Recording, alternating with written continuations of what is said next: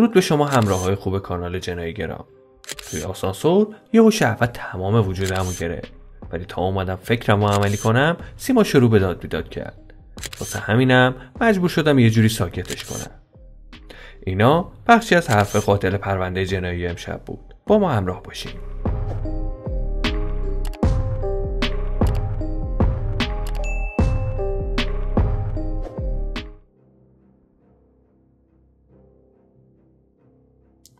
18 تیر سال 99 بود که گزارش قتل دلخراشه دختر جوان داخل آسانسوری برج مسکونی توی شمال تهران به مامورای پلیس گزارش شد.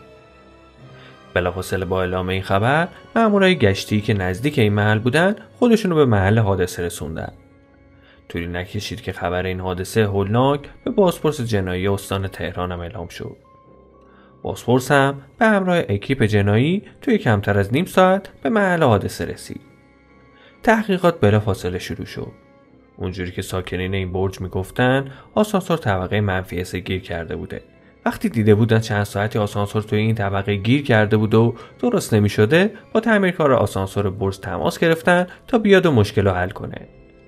تعمیرکارم تا رسیده و رفته طبقه منفی سه با جسد بیجونه این دختر مواجه شده که لای در آسانسور گیر کرده بود و جسدش نمیذاشته که در بسته بشه. گفته های ساکنین و شاهدایی که به عنوان اولین نفرات با این صحنه روبرو شده بودند توسط مامورای آگاهی ثبت شد.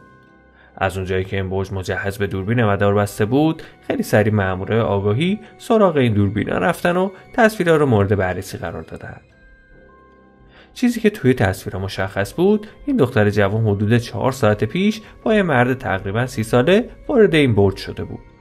ولی حدود نیم ساعت بعد مرد جوان به تنهایی و در حالی که حراسون به نظر می رسیده در حال ترک برج بوده. وقتی این تصاویر به دست اومد تصویر این مرد به ساکنین برج نشون داده شد. همه این مرد رو میشناختن و می‌گفتن این مرد اسمش رضاست. دو سه ماه پیش یه مدت کوتاهی به عنوان سرایدار نظافتچی توی برج مشغول به کار شد. ولی وقتی همه همسایه ازش به خاطر کمکاری شکایت کردن هیئت مدیره تصمیم به اخراجش گرفت.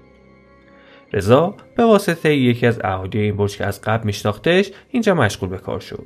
بعد اینم که از اینجا اخراج شد تا همین امروز دیگه اصلا ندیده بودیمش. با این گفته اهالی ساختمون خیلی زود فردی که با رضا آشنایی داشت هدف تحقیق قرار گرفت. این مردم تمام اطلاعاتی که رضا داشت و در اختیار پلیس قرار داد و گفت من رئیس هیئت مدیره این برجم. رضا چند ساعت پیش این دختر رو با خودش آورد اینجا تا برای کارهای سرایداری استخدامش کنه. ولی وقتی باش صحبت کردم دیدم شرایط لازم و برای استخدام نداره. واسه همینم قبولش نکردم بعد اینم که رفتن من دیگه هیچ خبری ازشون ندارم. اطلاعات هویتی رضا خیلی زود از روی شماره تلفنش استخراج شد. و به دست اومدن این اطلاعات رضا چند ساعت بعد توسط اکیپ عملیاتی پلیس آگاهی شناسایی و دستگیر شد. رضا بعد اینکه از برج اخراج شده بود داخل سوپرمارکت توی محله فرحزاد مشغول به کار شده بود. شبام به عنوان نگهبان یه فروشگاه توی محله مجیدیه تهران میموند. رضا بعد اینکه وارد اتاق بازجویی شد سعی داشت حقیقت رو پنهان کنه. ولی وقتی دید فیلم ورودش به برج توسط دوربین ثبت شده مجبور به اعتراف شد و گفت چند روز پیش که توی مغازه بودم سیما وارد مغازه شد. سر ظهر بود. توی ساختمان روبروی مغازه یه شرکت کاریابی بود. سیما داشت دنبال اون شرکت میگشت. کمکش کردم و شرکت رو بهش نشون دادم. سیمام رفت. بعد نیم ساعت دوباره سیما برگشت. می‌گفت دنبال کار میگرده و این شرکت هم خیلی به دردش نخورده. یه چند دقیقه که باش صحبت کردم ازش خوشم اومد. واسه اینکه بهش نزدیک در بشم گفتم یه برج مسکونی توی شمال تهران می‌شناسم که دنبال سرایدار میگرده. می‌تونم ببرم اونجا معرفیت کنم که برای کار بری اونجا. سیما خیلی خوشحال شد. از اون لحظه بینمون شماره رد و بدل شد و ارتباطمون شروع شد. سیما دختر خیلی خوشگلی بود ولی چون از شهرستان تازه اومده بود تهران خیلی ساده بود. بعد رفتنش مدام بینمون پیام رد و بدل می‌شد. تا اینکه برای فردای اون روز که روز حادثه بود با محمد آشتای قدیمیم که رئیس هیئت مدیره برج بود قرار گذاشتم تا برای مصاحبه ببرمش اونجا. سیما اومد دم مغازه و با هم تاکسی گرفتیم که بریم اونجا. وقتی رسیدیم رفتیم پیش محمد و با سیما صحبت کرد. وقتی صحبتشون تمام شد و دیدم محمد استقبالی نکرد فهمیدم از سیما خوشش نیومد و نمی‌خواد استخدامش کنه. از پیش محمد که اومدیم سوار آسانسور شدیم. از لحظه که سیما و هیکلش دیده بودم خیلی وسوسه شده بودم. وقتی وارد آسانسور شدیم شهوت تمام وجودم رو گرفته بود. واسه همین دکمه طبقه منفی سه روز زدم تا ببرمشون پایین و بهش تجاوز کنم. تا دکمه رو زدم سیما گفت چرا این طبقه رو زدی؟ گفتم می‌خوام ببرمت اونجا اتاقی که سرایداری رو بهت نشون بدم. همونجا شک کرد و شروع کرد صداشو برد بالا. واسه اینکه آبروم نره سری واکنش نشون دادم و سر سیما رو محکم کوبیدم به دیواره آسانسور. سیما همونجا افتاد زمین. با لگت چند تا ضربه دیگه به سرش زدم.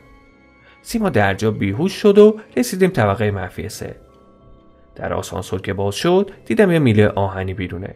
سری برش داشتم و چند تا ضربه دیگه به سرش زدم. کف آسانسور پر از خون شده بود.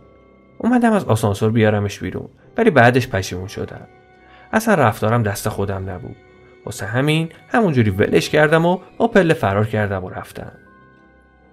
بعد قد حالم خیلی بد بود و واقعا پشیمون شده بودم. واقعا نمی‌دونستم باید چی کار کنم. سری برگشتم مغازه و مشغول به کار شدم. ولی چند ساعتی بیشتر از این کارم نگذشته بود که توسط پلیس دستگیر شدم. اعترافای رضا جلوی دوربین اتاق بازجویی هم ثبت شد. چند روز بعدم به محل جنایت برده شد و قتل سیما رو بازسازی کرد. با این کار دیگه پرونده کامل شد و با صدور کیفرخواست به دادگاه ارسال شد. حدود یک سالی رسیدگی به این پرونده طول کشید و بالاخره آخرین روز محاکمه رضا رسید. اما ابتدای جلسه اولیای دم توی جایگاه قرار گرفتن و قاضی درخواست قصاص متهم کردن. بعدش نوبت رضا شد و توی جایگاه قرار گرفت.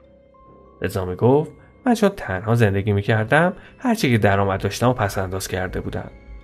از طرفی چون شبا توی مغازه میخوابیدم هیچ اجاره خونه هم نداشتم. به سیمام این چیزها رو گفته بودم. واسه همین سیمام فهمیده بود که من یه مقدار پول دارم. ازم یه مقدار پول خواست. منم بهش گفتم پولمو پس انداز کردم و نمی‌تونم به تو بدم. از همونجا سیما با هم سرد شد. وقتی هم توی آسانسور فکر تجاوز به ذهنم رسید سیما اصلا امون نداد و شروع به جیغ داد کرد. من توی اون برج آبرو داشتم و همه منو میشناختم واسه همین توی لحظه وقتی دیدم نمی‌تونم ساکتش کنم مجبور شدم دست به این جنایت بزنم. الانم از کارم خیلی پشیمونم و اولیاییدم می‌خوام که منو ببخشن. وقتی صحبت و دفاعیات رضا ثبت شد قضات دادگاه برای صدور رأی نهایی وارد شور شدند در نهایت هم قضات رضا رو به اعدام محکوم کردند این حکم توی دیوان عالی کشورم تایید شد. بالاخره اواسط سال 1401 و در حالی که نزدیک دو سال از جنایتی که رضا انجام داده بود گذشته بود رضا به دار مجازات آویخته شد و این پرونده برای همیشه بسته شد.